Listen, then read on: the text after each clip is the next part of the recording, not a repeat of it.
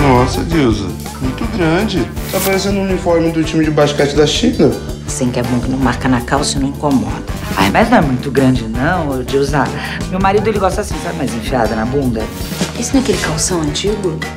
Minha filha não vai mais usar. Ô pai, Ah, você vai me levar no estádio, hein? Você tem que torcer pro time do pai, mano. Me tem essa de três dedos, hein? Gente, obrigado por me receberem. Parabéns pelo filme, baita filme. Fiquei muito feliz de ter visto. É, o personagem, vocês estão demais como casal e os personagens são demais. Queria é, que vocês falassem como que esse projeto chegou até vocês. Já sei pela coletiva, Babu, que você influenciou até o processo do, do Marcos, né? É, me falem aí dos personagens de como. É, eu faço o Santana, um personagem lindo. É um daqueles personagens que a gente persegue, né? Desde que É. começa a, a iniciar a carreira. Ainda mais a história que tem envolvendo, assim. É, o cara, pô, falar que fez um personagem pra você, eu acho que é mais valoroso de qualquer coisa, outra coisa que pode acontecer na nossa profissão. É. Então foi muito bom. O, o, o Santana, ele, a, a minha dificuldade é a proximidade que ele tem comigo. Né? Então eu comecei a construir o Santana nas distâncias, né? Pra- Profissão, é, ele toca bateria e tudo mais. Mas assim, e as interseções também foi muito bacana. Mas esse é não sei na opinião da Adriana, mas quando é um personagem muito parecido com a gente, é que se torna mais difícil. Pra você não deixar também ele pastel, ficar pastel, assim. É. Né? Então quer dizer. Parece que a gente não tá trabalhando. É. Interessante, né? Pô, sou eu. E pra você, Adriana? A Dilsa bem diferente de mim também, mas foi uma delícia absurda fazer. Personagem muito definido, tudo que, que era para ser contado já estava escrito no roteiro. O, o Marco Jorge, o nosso diretor, ele é muito CDF, caxias. Ah, ele é demais.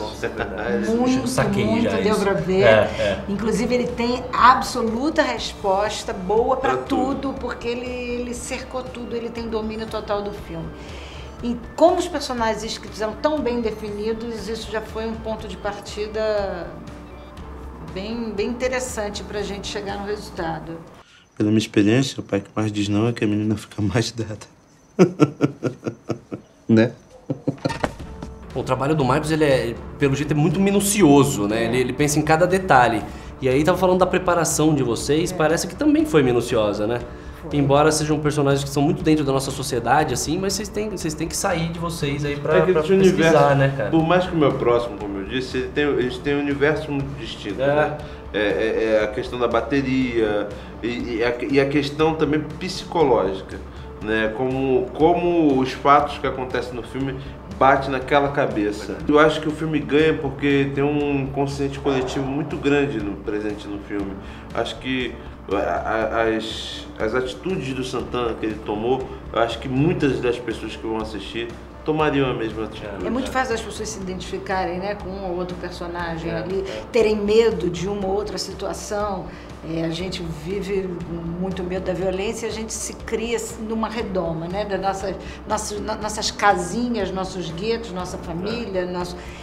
E quando você está assim à mercê do outro, do acaso, do que pode acontecer, a, a gente, o, o- o filme serve também para a gente hum, lidar com os nossos medos, né? Senta!